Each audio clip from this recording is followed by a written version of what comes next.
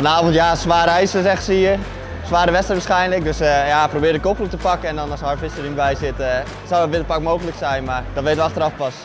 Ja, in, in, principe was mijn seizoen eerst nu gewoon leren, maar na die zesde plek in Amsterdam gelijk uh, ja, zijn die verwachtingen wel een beetje bijgesteld. En eigenlijk hoop ik nu stiekem wel een keer op podium te eindigen. In ieder geval een keer met een kopgroep rond te gaan en een kans te hebben op het podium.